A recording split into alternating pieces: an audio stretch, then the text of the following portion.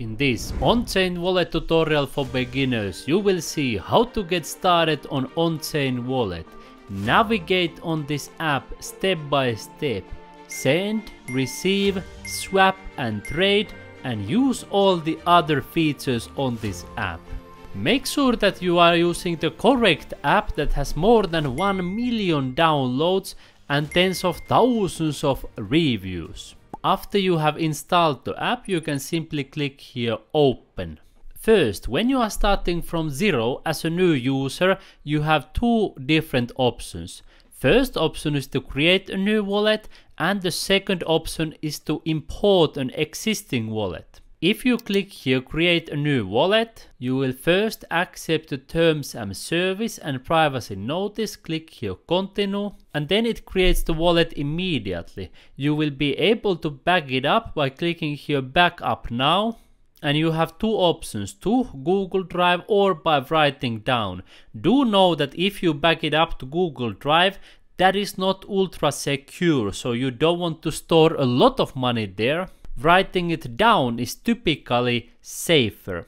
I have seen many stories of people losing their money because they stored their crypto wallet digitally. That's why write it down.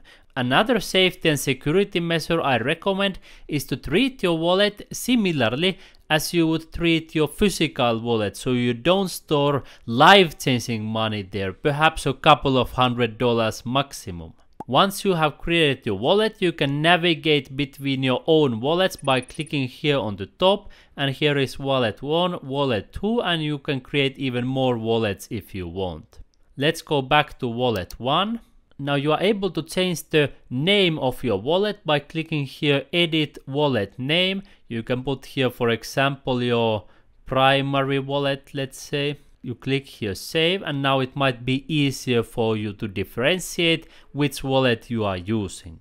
Now when you click here on the right hand side for wallet and you click this settings button on the top you are able to set up even more security measures. You can set up the recovery phrase, usually 12 words. You can set up a passcode and enable biometric ID so you can use your fingerprint to access the app you can enable two-factor authentication and also auto app lock. So if you don't use the app, for example, for one hour or five minutes or one minute, it will automatically lock the app as you can see right here.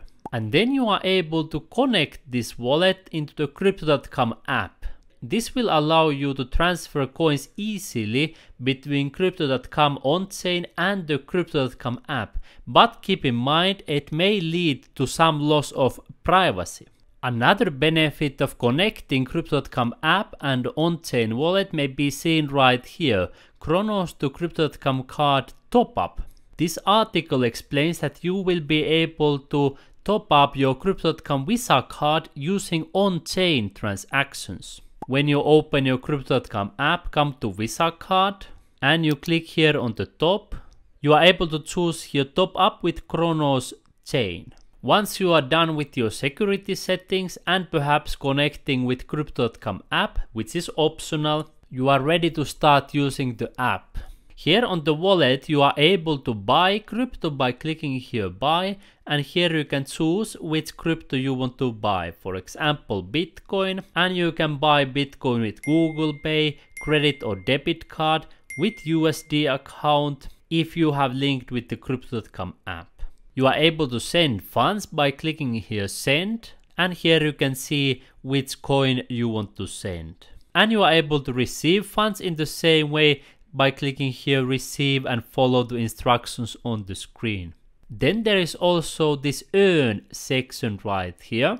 And here they offer different earn options and features. For example, Ferro protocol, there is a compound lending, Aave lending, Ethereum staking, and also Cosmos staking and other ways. You can see the APR, so annual percentage rate here, and sometimes it may seem surprisingly high. You can see here, for example, more than 50%. But do know that if you see such a high interest rate, like more than 50%, it usually comes also with the high risk. Personally, I prefer to use the Crypto.com app for saving and getting interest. When I click here Crypto Earn feature, I'm able to save in multiple different currencies, including Bitcoin. And this is something I personally prefer to do. If you want to see a more detailed comparison between on-chain earn and Crypto.com app earn, take a look at my playlist Crypto.com app tutorials and here you will see my complete comparison between those two.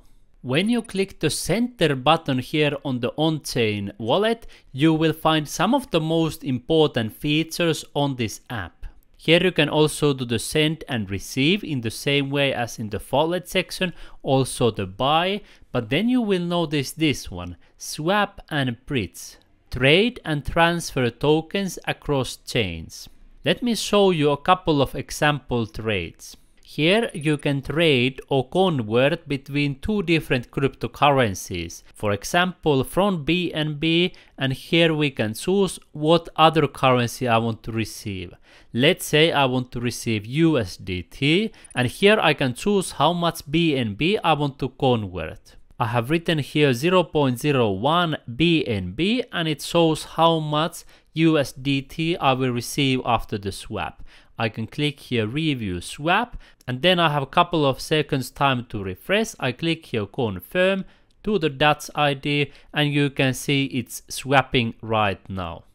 A few moments later. You can see here in the activity section that the first swap failed because I didn't click fast enough but the second swap has been successful. You can see here that 0.01 BNB has been reduced and I received the USDT into my wallet right here. You can see USDT received. When you are trading and swapping here, remember to use the correct chain because as you know this, there are multiple different chains available, BNB chain, Ethereum, Cronos, Solana, Polygon and Avalanche and even more. Usually if you swap in one chain, the fees are lower, but if you are doing so-called bridge, so you are swapping for example from BNB smart chain into Ethereum chain, then the fees tend to be higher. Let me show you an example. Here the fees are more than $1 when swapping from BNB to USDT on Ethereum, but if I choose the USDT in BNB chain, the fees are much lower. You can see they are roughly 10 times lower. Another thing you want to notice that you need to have some coins to cover the gas fees. If you are using BNB chain, you need Binance coin. If you use Ethereum chains, you need some ETH. On Cronos chain, you need Cronos tokens, and so on and so forth. Let me swap back from USDT to BNB. Here it always shows where it's swapping, then it shows the slippage tolerance, it shows the price impact and the estimated network fee. When you review the swap, you can see the details again and then you can confirm the swap. Notice here that when I tried to swap back from USDT to BNB, again the first time I was too slow, the second time I did it fast enough, but this is something good for you to know why it might fail, is that you need to click pretty fast to get the swap done. Here on the center button you also notice this Degen Arcade, let me click that one, it says discover and trade meme coins and you may see massive gains for some of these coins. You can see plus 900% in 24 hours plus 3000% and other crazy gains. But it's good to remember that usually insiders benefit the most from meme coins while normal users tend to lose money. So if you would ever use this Degen Arcade, I recommend going in with the mentality that you will lose it all because here you will have extremely high risk and volatility.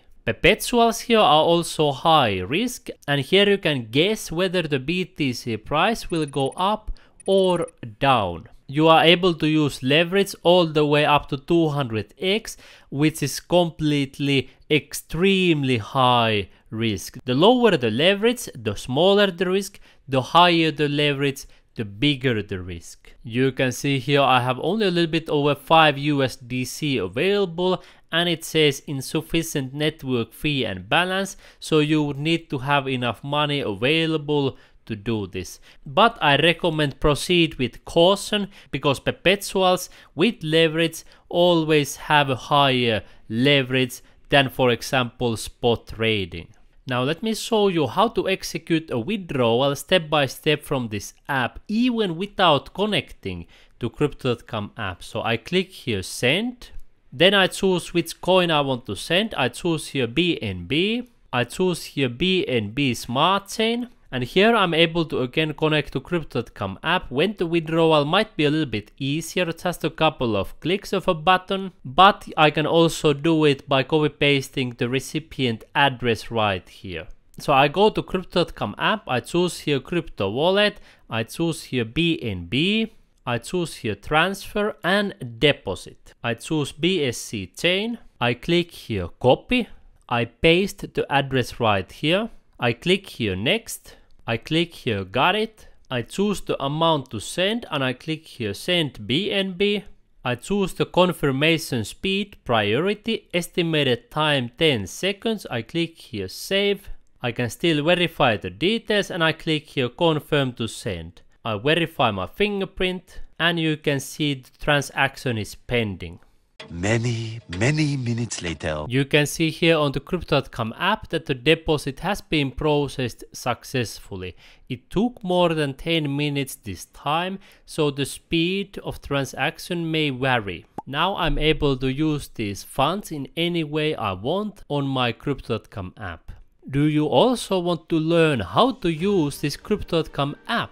You can learn how to use all the features including reward section, how to use crypto in real life with the Crypto.com Visa card and also other amazing features. I want to invite you personally to come to my playlist Crypto.com app tutorials because here I have dozens of step-by-step -step tutorials showing you how to use this app and helping you to move forward. So simply take one of your fingers right now click right here in the corner and see my Crypto.com app tutorials immediately.